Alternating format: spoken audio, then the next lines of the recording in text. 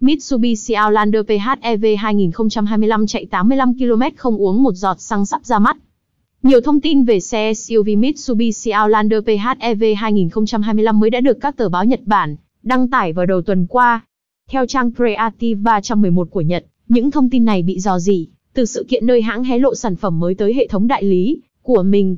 Ở lần nâng cấp giữa vòng đời này, mẫu Mitsubishi Outlander PHEV 2025 nâng cấp đã được hãng xe Nhật Bản được tinh chỉnh đôi chút, ở ngoại thất khác biệt hơn so với phiên bản đang bán ra hiện nay.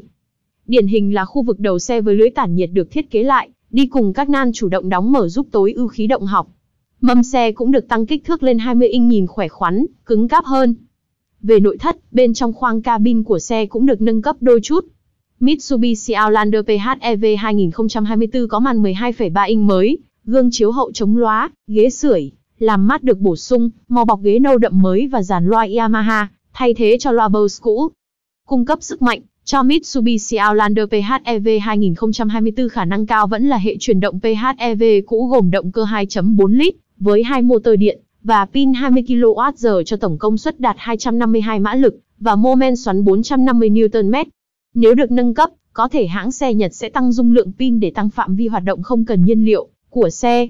Ở bản hiện hành, Mitsubishi Outlander PHEV có thể chạy 85 km không cần nhiên liệu. Tại Nhật Bản, mức giá xe Mitsubishi Outlander PHEV hiện được bán ra với từ 5 triệu yên, tương đương 822,3 triệu đồng. Bản nâng cấp giữa vòng đời dự kiến sẽ có giá tăng nhẹ.